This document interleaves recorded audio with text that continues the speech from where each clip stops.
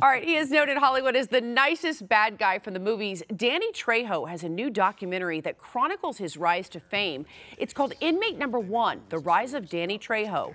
Sam had a chance to speak to the actor slash restaurateur. Uh, Take a look. I had a sawed-off shotgun and a hand grenade. I buried him, and I told my mom, "Be real careful in the backyard." let Let me ask you this, because you're in this unique situation you've lived many different lifetimes in one life.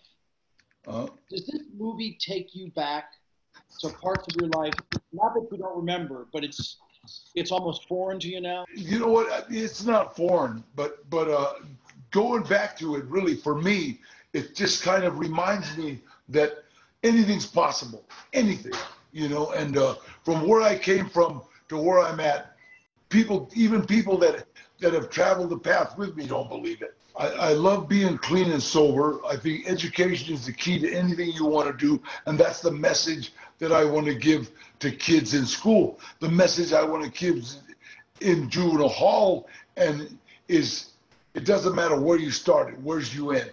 When you're in juvenile hall, you really feel like you've been thrown away. You know, like okay, this is my life, and what I'm trying to do with this inmate number one He say, no, no, you know what? You're not thrown away.